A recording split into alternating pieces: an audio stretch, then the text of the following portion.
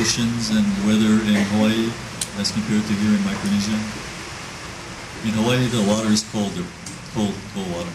We have uh, our normal our normal winds are stronger. We have trade winds that blow on average from stronger stronger than this was blowing today.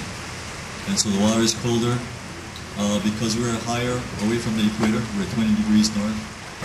So our weather is very different from Micronesia. When we sail down to, um, before we got to the Marshall Islands, before Mazu, there's a definite difference. The water got warmer, the rain was warm. At, at, at home, when it rains, everybody runs underneath the shade and we all cover the raincoats. In, in Micronesia, when it rains, we just keep on walking. And uh, that's that's a, that's a big difference. Um,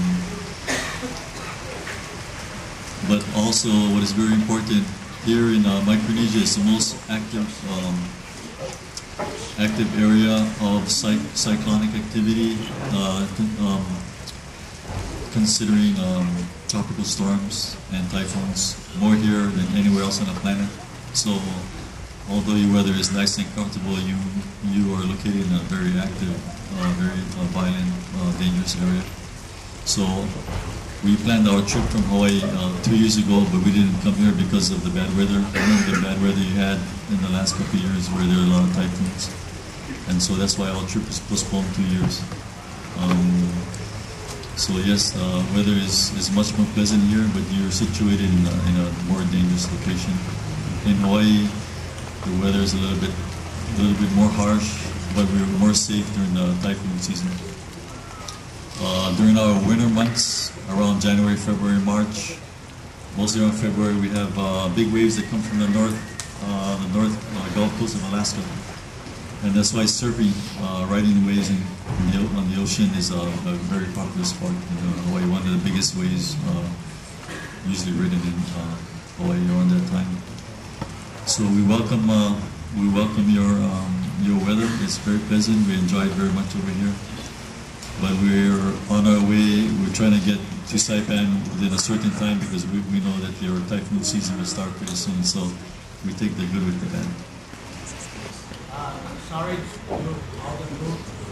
My question is, I'm not speaking English or speak to our activities. Grow up. I mean, grow up. Capacity, capacity.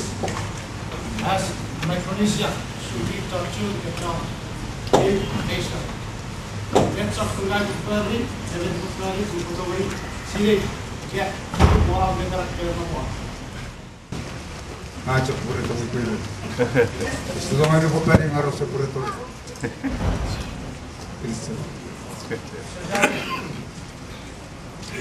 Dipper, che depois finisa, quando si take to on a part, please. crew or become a navigator. I'm sure it's, uh, it's That's all I have to translate it. I have two questions. Uh, my first question is, now when the stars comes out at night, so how do you find going when the stars are not out? Is another way? Did you see the first two? Yeah. Uh, yeah, okay. so, yeah.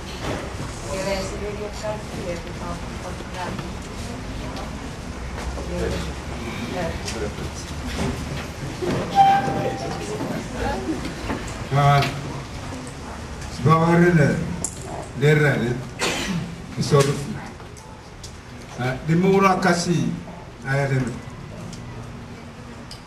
um eu muito fetarmen eu amo te fetarmen eu fetar demur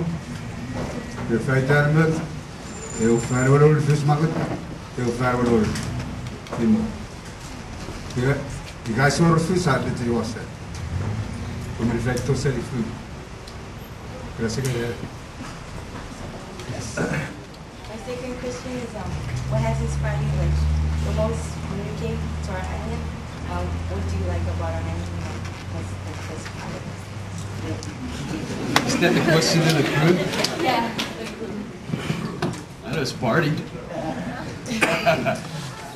I'll, I'll let him answer that. uh, shown so much kindness and their music, your music has been really wonderful. We went to the um, high school in Zaire and Xavier, and the songs that they sang there were so beautiful. And then they would say that you know they were um, sad because they had little to give, and yet the people just kept giving and giving, and you've given so much with all of your hearts. And it makes me realize that at home, we do have people that give, but it's not the same anymore as it used to be. In, the, in our past generations, our kupunas or families back then used to give a lot. Even with what little they had, they used to give a lot. And today, with our economic the way it is, sometimes it's even hard to just give a lot. And watching all of you coming out and sharing all of your um, food with us, which has been really, really plentiful for us. And it's so wonderful. And this is something that we will go home and share with our families at home, even within our communities, that we really live a good life in Hawaii. And seeing the families here, some of the people, the way your, your living is, and your struggles is, it's really unreal in Hawaii. And we've taken things for granted. A lot of things we have taken for granted in Hawaii. And to see the way you people live has really made me appreciate life more.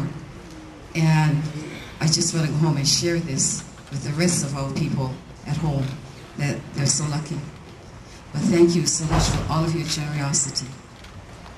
Well, everyone is still talking, so we decided to apologize first before we crawl out. And I'm very thankful that we, we were able to be here. And one last thing, we're really sad because we thought that we're gonna take pictures with you guys. Thank you.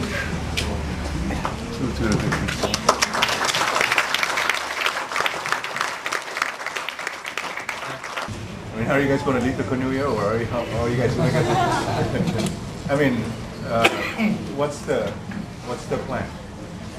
Yeah, we're going to put the canoe up at the resort. Resort. That's the last place you want to no, no, that's not that's not. Uh, we're going down to uh, we're going down to the Ocean Islands, and then all the way to Satawal, and then we're going to Guam, Saipan, And then and then from Saipan, I believe we're gonna put it on a ship, both the canoe and the escort boat, and the rest of them are gonna swim back to Hawaii, and the canoes are ship. more better.